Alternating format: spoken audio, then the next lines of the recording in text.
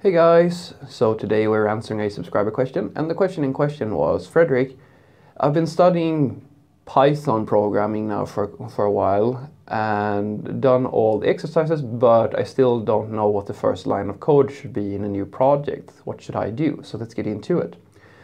Well, this is a similar question to the sort of question that I've answered in the past where people have this, you know, I've been watching all of these tutorials and I still don't know what to do. And I will give you the same sort of answer because it's the it's my favorite answer to this question. It's uh, it's something that I said to an old schoolmate of mine when we were talking about programming. We were discussing the like this profession, and we had this discussion about right. So what like, we basically had an agreement uh, regarding that programming is just a tool for you. And some people treat programming as the final destination, like the end goal that, all right, if you have programming skills, then you have reached your goal. That is actually, that is completely wrong. By knowing how to use programming, you are in a very similar situation to any source of craftsman. You can build things, but without having some type of flair for some type of innovative idea or like any idea at all, like some type of crea creativity, you won't be able to make anything. You have the tools, but you don't know what to do with them. And this is exactly the sort of issue that you have when you watch tons and tons of tutorials. All right, so you know how to write some code, and you have all of these examples. Uh, and some uh, some very unfortunate people realize that they can only program in a set environment. That's the worst type of programmer to be. Well, not the worst, but it's one of the worst programmers that you can be, where I have to tell you exactly what to do, or they can only produce code if I give them a very set test. It's like you can only use mathematics if it's the exact same sort of problem that you had in your textbook because you haven't really understood mathematics. You've just memorized the formula and the way of writing it that is told like it, how it's taught to you in the books. And programming works the same way. So if you've watched a bunch of tutorials and you have no idea where to even start your first project, then I think that either the um, learning material that you've been using is very, very bad, or you failed at the first and foremost thing. And that is, drum roll, identify the problem. I, you need to have a purpose. What, why are you even learning programming? If, if you can't start a project, well, then what's the, what's the point? The best code is the code that you don't have to write. So unless you have a problem, why are you even writing code? So that's the first thing. And I'm assuming that this person has started the same way that most people start when it comes to programming. Uh, you want to make a web application of some sort. Since it's Python, it could have been machine learning or a game or something as well, but I'm just going to guess that it's going to be a web application. And then the first question should be, what is your web application going to do? That should be the first question, always. Or like, well, because without that, uh, without answering that question, how would you possibly know how to even start?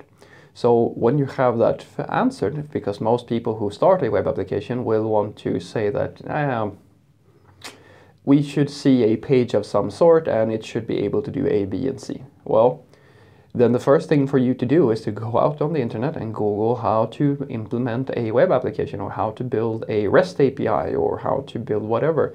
And then you should be able to start following along in these tutorials because the mean if you talk about a web server, the absolute first line of code should be the line of code that actually declares an endpoint that you can connect to.